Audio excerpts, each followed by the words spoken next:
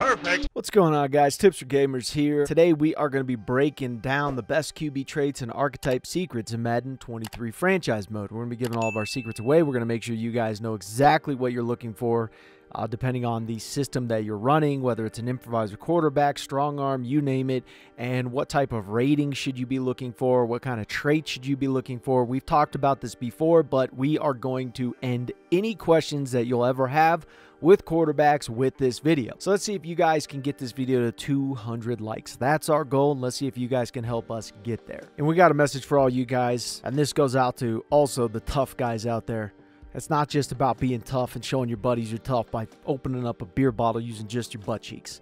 All right? This goes for men, women, siblings. This goes for your wife, husband. Doesn't matter. It goes for every one of you. Don't forget to tell those around you that you're proud of them, not just for their big achievements, but their small achievements as well. It matters more than you know. Your husband, wife, siblings, and children become fueled by this. Don't forget to remind them. This is very important. Don't forget to remind them of what they have already accomplished. It shows you see and hear them. And sometimes just knowing someone is there in the crowd just for them means everything to those that you love. So, field general quarterbacks, let's start there. Don't they just seem like they cry a lot and they journal all the time? I'm just kidding. Joe Burrow, you're tough as nails, big dog. You got sacked as many times in the Titans game last year in the in the conference championship uh, as your number. So, and you still hung in strong and helped win the game for your team. Field general quarterbacks are knockoff strong arm quarterbacks. That's just the way they are.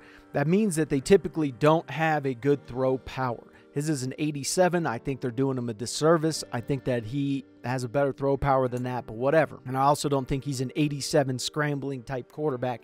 That's ridiculous, in my opinion.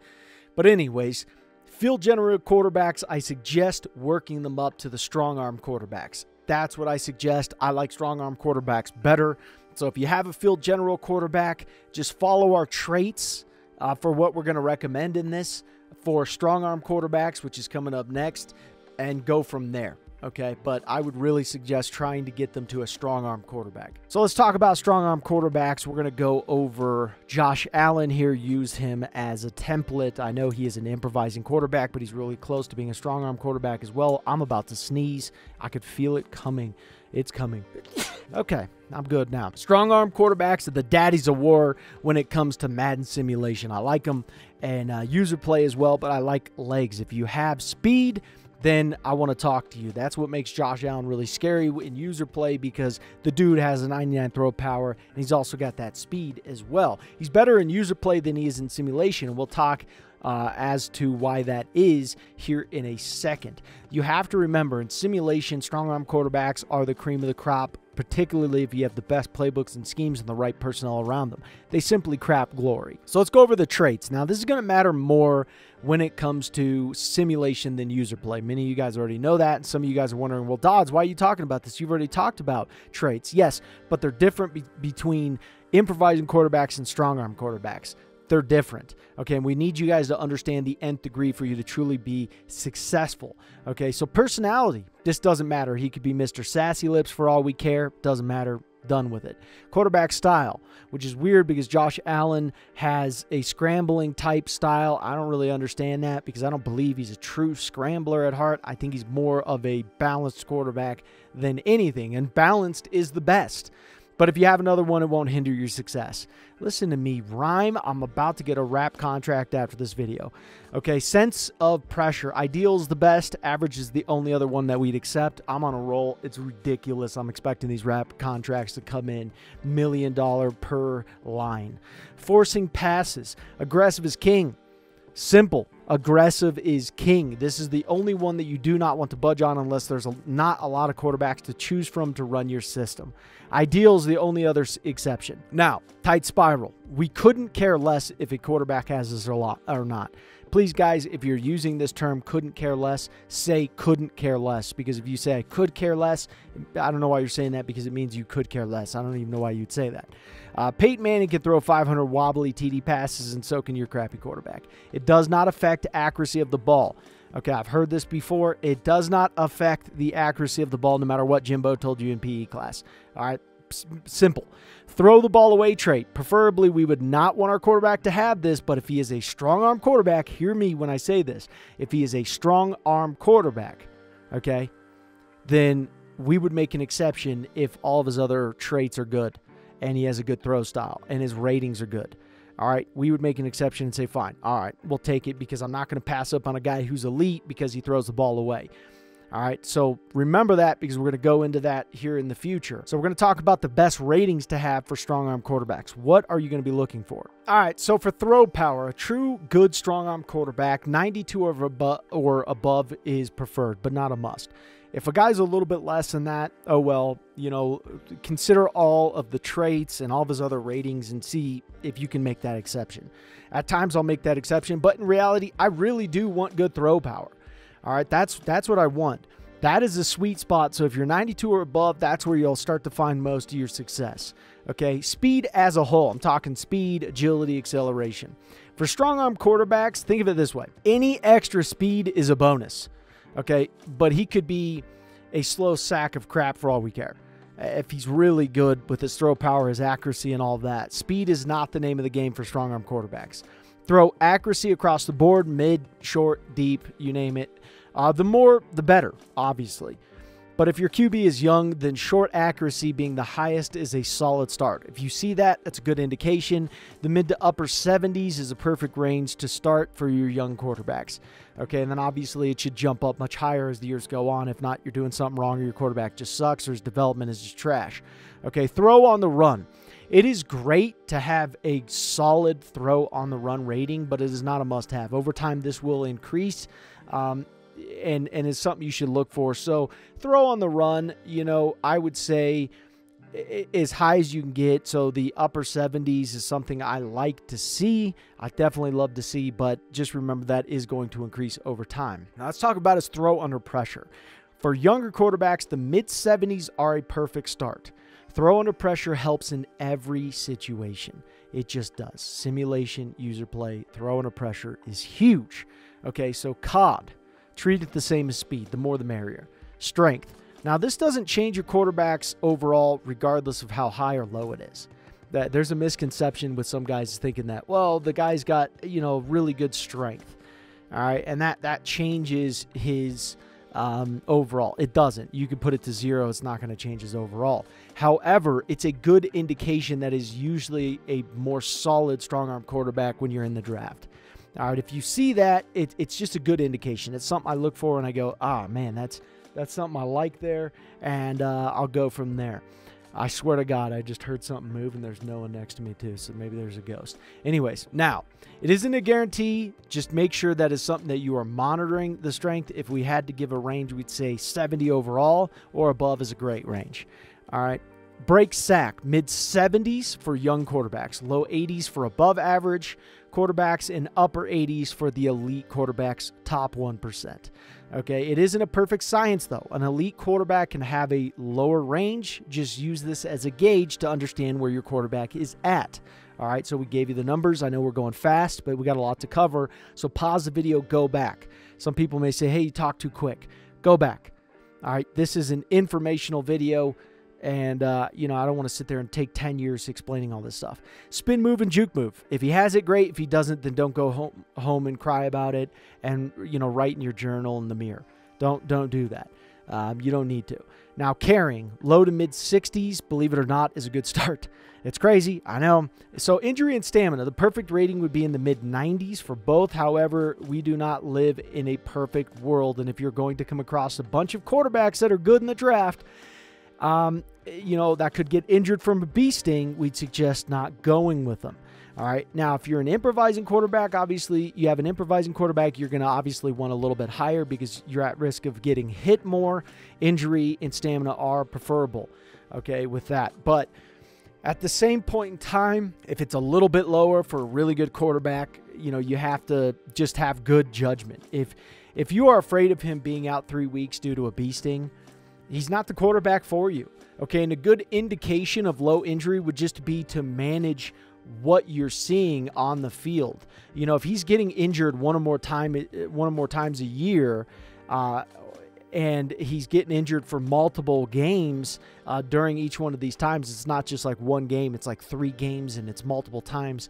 Then you need to trade him to the highest bidder. Okay, and if this dude is doing hot yoga for his workouts and only listens to Tibetan singing bowls, then probably a good indication that maybe the guy's not going to last too long. Let's talk about scrambling quarterbacks here. Now, they can be good, but they're nowhere near as good as solid improvising quarterbacks um, if you're in simulation. User play, you can kind of mess around with it a little bit more. I would still suggest going for more of the improviser uh, quarterbacks and upgrading that way. And you can see like Lamar Jackson here is a combo between both. He's literally balanced. I would work on his improviser, is definitely what I would do. Now, some people have this misconception that scrambling quarterbacks have to be the only ones that fit in scrambling systems. That's not true. You can also have an improviser fit in a scrambling system and do great. Like you can see here, the Ravens are in a scrambling type system, he's a balance between both of them, so you can choose. And he's actually a great quarterback in simulation. Looking over Lamar Jackson, I was actually very impressed with how good he is in simulation. His traits are uh, fantastic to a degree. I got to look over one of the other ones to see if he's truly perfect. So, with scrambling quarterbacks, we recommend converting these quarterbacks into improvisers over time.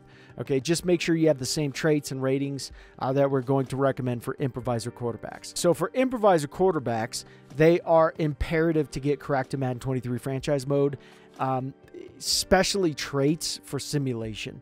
Okay, user play, you want to make sure they're actually good quarterbacks with the ratings and stuff, but the traits are much more important for simulation. Now, going over their traits, the throw the ball away trait. This is huge in simulation.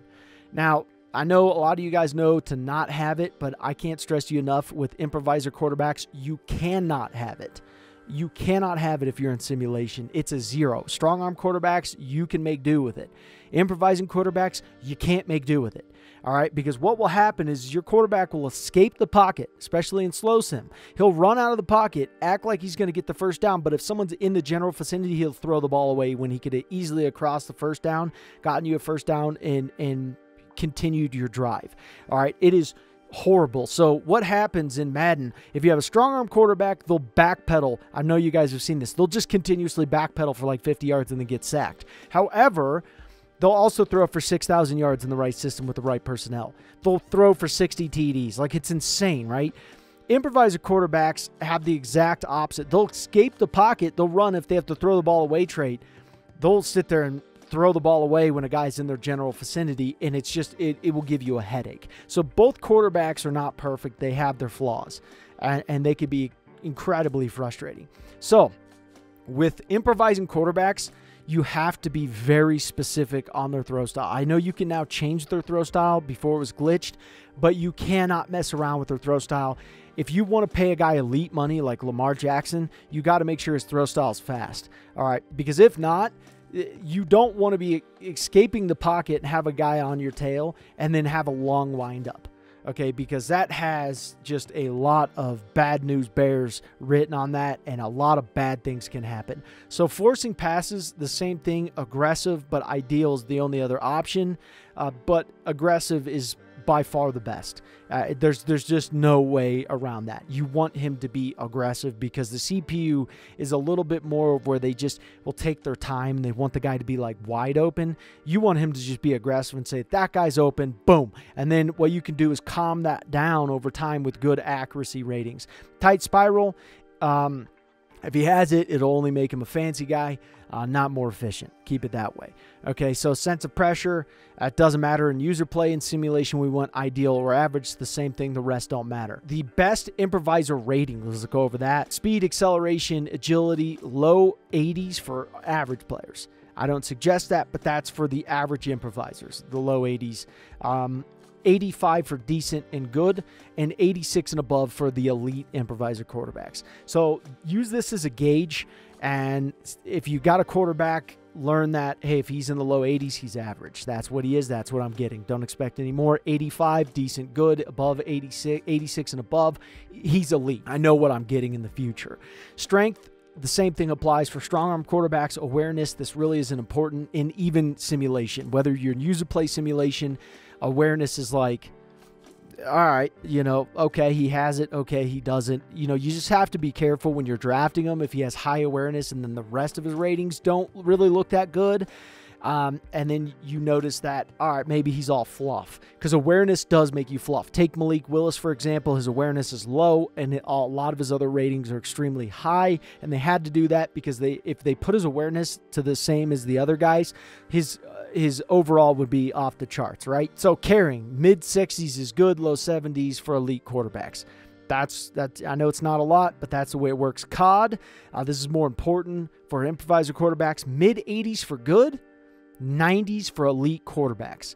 Okay, stamina and injury. This is tricky to gauge uh, the range for quarterbacks because it's so up and down. I mean, it really is, especially when you start getting the auto generated draft classes, injury, stamina, decent, good uh, quarterback. Um, for decent and good quarterbacks, it's around 85 for both. All right, on, on injury and stamina, 90 and above for elite.